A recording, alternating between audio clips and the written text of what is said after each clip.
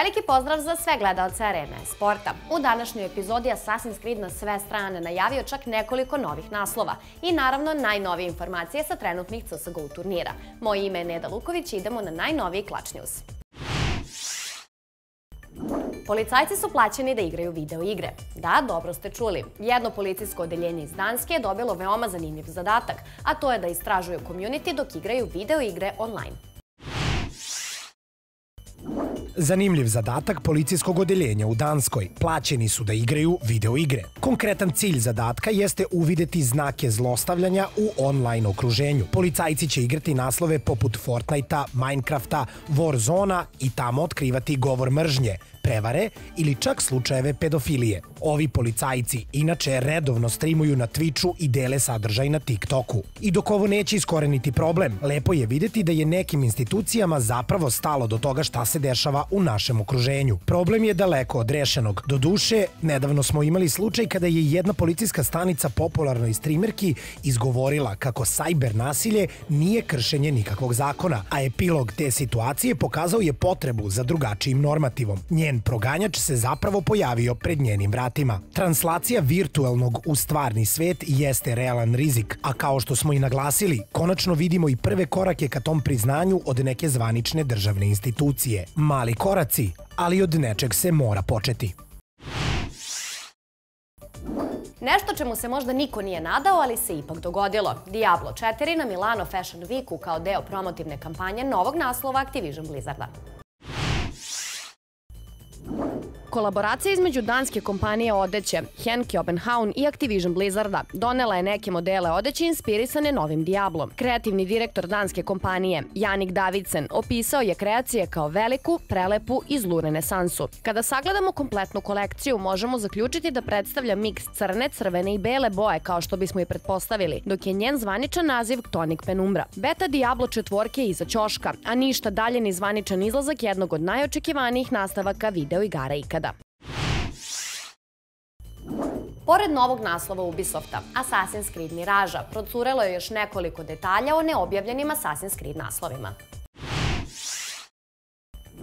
U septembru prošle godine Ubisoft je najavio četiri Assassin's Creed igre, od kojih je jedna Assassin's Creed Mirage. Ostali projekti nisu detaljnije najavljeni, te samo znamo šifre pod kojima su poznati. Redom to su Codename Red, Hex i Jade, setovani u feudalni Japan, Sveto Rimsko carstvo i drevnu Kinu. Znali smo jedino da će prva dva naslova sa te liste biti deo njihovog Infinity projekta, dok je Jade planiran kao mobilna igra. Sada, novi izveštaj Insider Gaminga tvrdi kako Ubisoft planira nove projekte iz Assassin's Creed univerzuma i to veoma raznovrsne. Ako im je verovati, gledamo ka jednom Project Raidu, to jest co-op PvE naslovu za tim od četiri igrača, Gledamo ka Project Nebuli, igri koja bi trebalo da bude bazirana u Indiji, carstvu Azteka i Mediteranu. Tu je i Project Echoes, izvesni Assassin's Creed multiplayer, a kao šlag na torti najavljen je i VR projekat pod nazivom Project Nexus. Po ovome možemo zaključiti da Ubisoft sva svoja jaja stavlja u Assassin's Creed korpu, ali treba napomenuti da ove informacije još uvek nisu zvanične.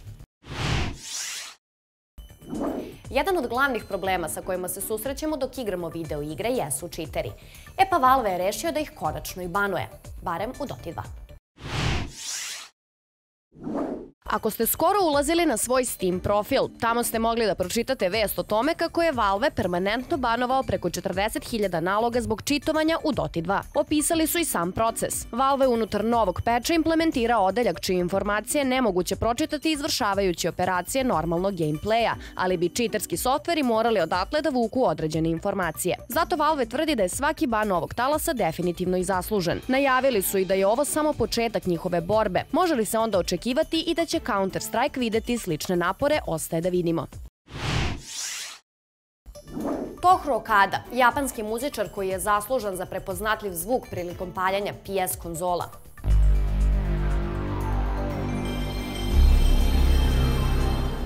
Preminuo je u 73. godini života.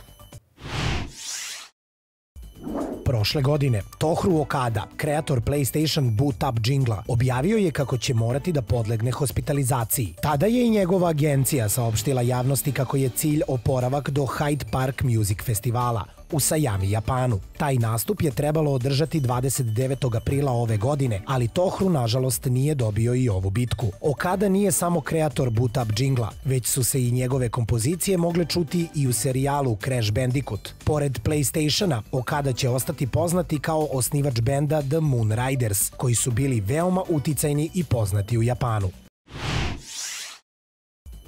Nastavljamo sa ne tako lepim vestima. Čuveni britanski komentator, čiji je glas poznati u FIFA, John Motson, preminuo je u 77. godini života.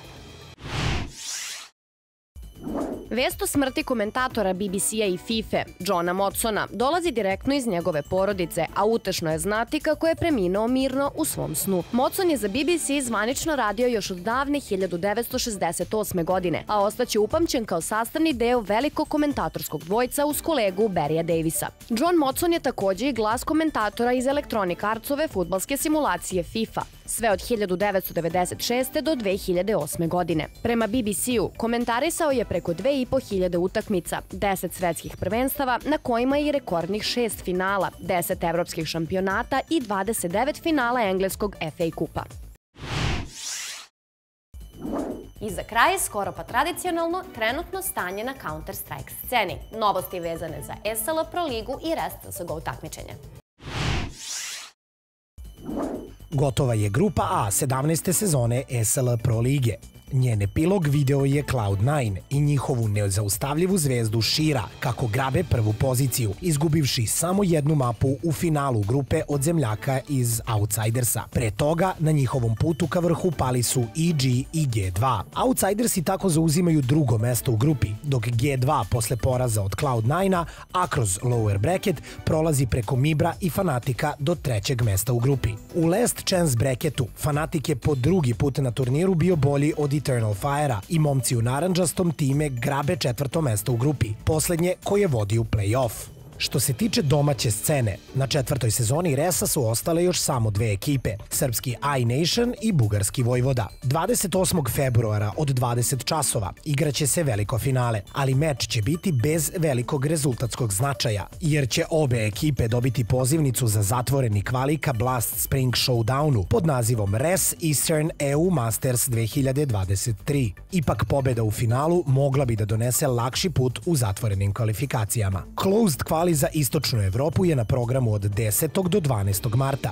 Ekipe koje će se boriti za jedino mesto koje vodi na Showdown su Cloud9, Eternal Fire, Bad News Eagles, Aurora, Monte, X Rapid Ninjas, Vojvoda i iNation. Što se tiče zapadnog dela, on će trajati nešto ranije, od 3. do 5. marta, a predstavit će nam sledeće ekipe u identičnoj borbi. Nine, Gamer Legion, Endpoint, LDLC, Alternate Attacks, Into the Bin, FTV i SD Invicta.